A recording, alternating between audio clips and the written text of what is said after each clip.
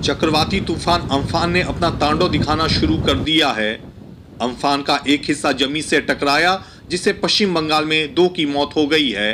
Amphan के ओडिशा तटों के करीब पहुँचने के साथ ही कुछ हिस्सों में तेज बारिश और हवाएँ चली हैं। ओडिशा में सड़कों पर टूटकर पेड़ गिर पड़े हैं। 102 किलोमीटर की रफ्तार से हवाएँ चल रही हैं। महाचक्रवाती तूफ़ान के मद्देनजर बंगाल, ओडिशा से साढ़े पाँच लाख लोगों को इलाके से बाहर निकाला गया है। तेज हवाओं के साथ भारी बारिश हो रही है। नौसेना के एयरक्राफ्ट तैयार रखे गए हैं। एनडीआरएफ की 41 टीम प्रभावित इलाकों में तैनात है। एनडीआरएफ के प्रमुख ने कहा है, फैनी के अनुभव के बाद हमारी तैयारी पूरी है। Greno news report.